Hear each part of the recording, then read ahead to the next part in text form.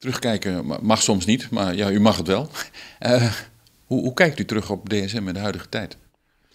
Nou, ik vind het fantastisch, moet ik zeggen, dat als je kijkt naar de huidige situatie van DSM, toch in een uh, zeer zware crisis, uh, en je ziet dat een, een, belangrijk deel van de portefeuille, die ook de laatste jaren is opgebouwd, dat die eigenlijk redelijk ongevoelig is voor de crisis.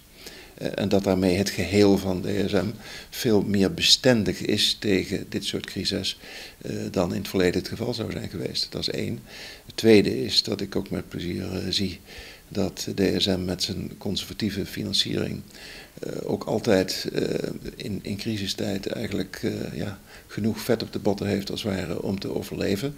ook geen financieringsproblemen heeft, veel cash heeft, veel sterke balans heeft.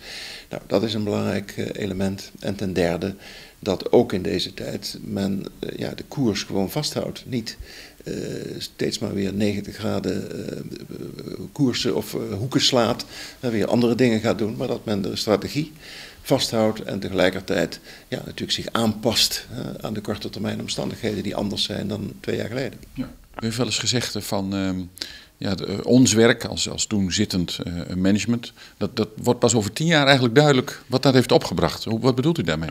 Nou ja, dat je dus bij grote veranderingen van uh, grote ondernemingen, dat je de effecten daarvan pas over vele jaren ziet. En uh, kijk, een van de gedachten natuurlijk achter de ombouw van DSM, van uh, ja, voor het grootste deel basischemie naar specialty chemie, was dat je als ware een nieuwe toekomst voor het bedrijf creëerde, waarin groei mogelijk was in andere gebieden, waar nog steeds groeipotentie is, terwijl dat in de oude business als ware veel minder het geval was.